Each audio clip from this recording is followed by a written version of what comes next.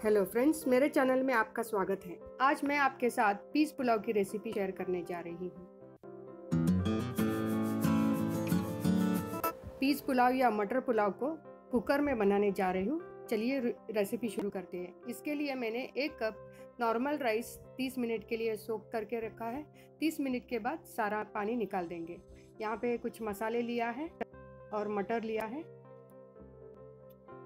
दो लीटर का कुकर है। इसमें तीन बड़े चम्मच तेल डाला है, एक टीस्पून जीरा डाला है, गैस को धीमी रखा है और इसमें मसाले डालेंगे एक तेज पत्ता।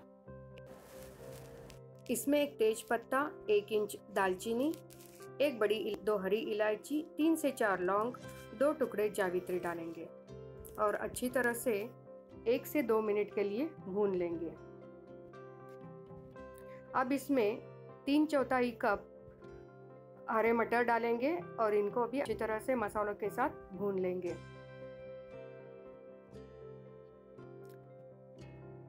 इसमें सोख किया हुआ चावल सारा पानी निकाल के डाल देंगे और इसको दो मिनट के लिए अच्छी तरह मसालों के साथ, मटर के साथ भून लेंगे।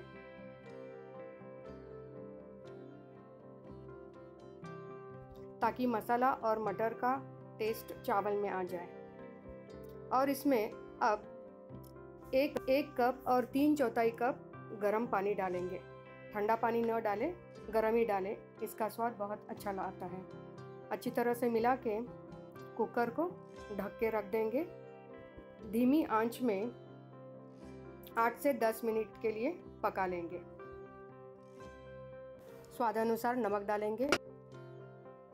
दस मिनट के बाद और 10 मिनट ठंडा करने के लिए रखेंगे। और ये मटर पुलाव या पीस पुलाव बन के रेडी हो गया। आप देख सकते हैं, चावल कितने दानेदार पके हुए हैं। अब इसमें कटा हुआ हरा धनिया डालेंगे। आप देख सकते हैं कितने दानेदार बना है।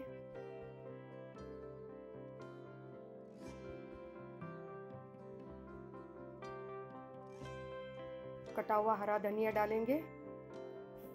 और इसको दाल फ्राई या बटर मिल्क करी के साथ सर्व करेंगे।